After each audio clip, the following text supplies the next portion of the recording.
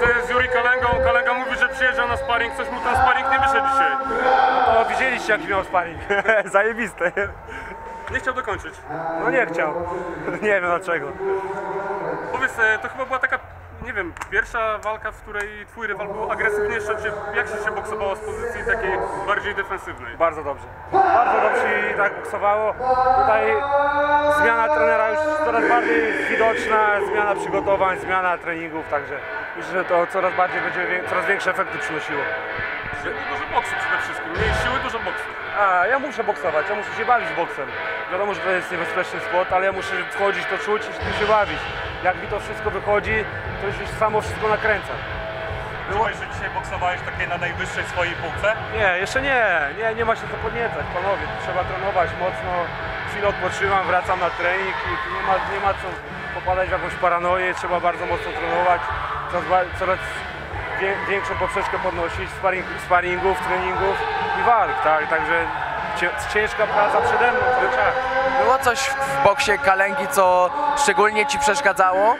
Nie, jakoś nie, nie było nic takiego, także wszystko pod kontrolą. To był najtrudniejszy rywal w swojej karierze? Nie wiem, nie wiem, muszę obejrzeć tą walkę. Jakoś tak aż jakoś ciężko nie miałem z nim, także nie wiem. Musicie, musicie wy to ocenić, co, jak to wyglądało z boku. Ja nie wiem, muszę sobie najpierw to obejrzeć tą walkę.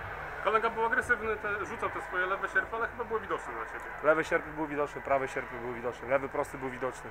Też powinien więcej go kontrolować właśnie tą swoją prawą nad jego lewą.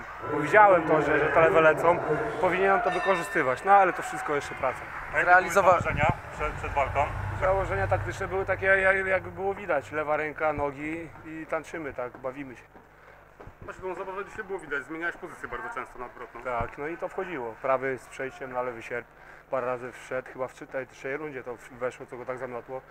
Także no to wchodzi, widać, że wchodzi. Myślę, że będzie coraz bardziej to wszystko się z, z, spinało i zatrybiało.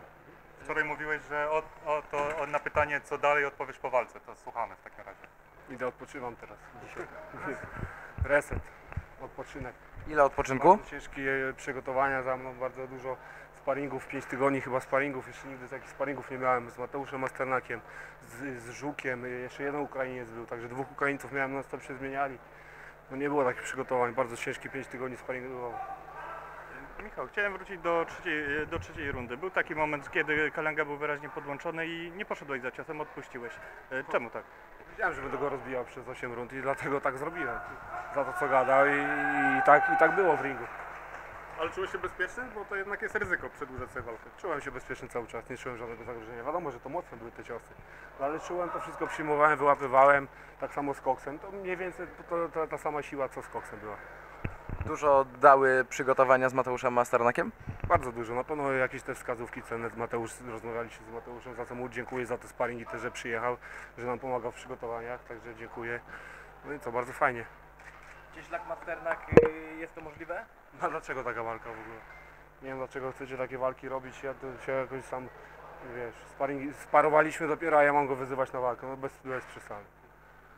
Mówi, że tak nie Chłopak chce, przyjeżdża, pomaga mi w sparingach i od razu zestawienia takie.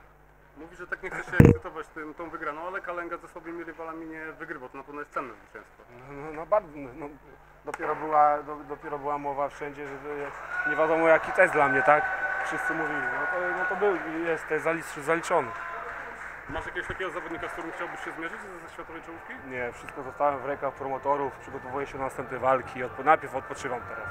A jak blisko jesteś walki o Mistrzostwo Świata według Ciebie, jak myślisz? Nie wiem, nie wiem. Wiem, że jeszcze mnie bardzo długa droga czeka do tego wszystkiego, także ja chcę pracować cały czas, chcę się rozwijać, może jakiś wyjazd ze Stanów teraz, nie wiem.